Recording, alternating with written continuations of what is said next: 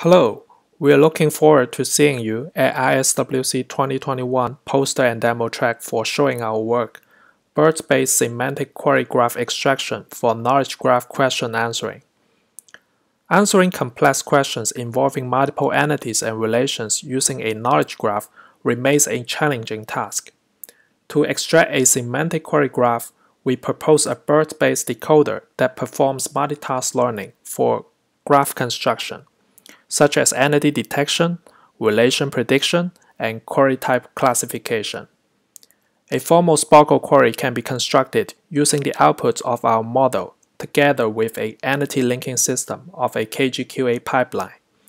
The experiments show that our model achieves better performance than traditional recurrent neural network-based models. Meanwhile, the KGQA pipeline based on our model outperforms the baseline approaches on two benchmark datasets containing complex questions. Thank you.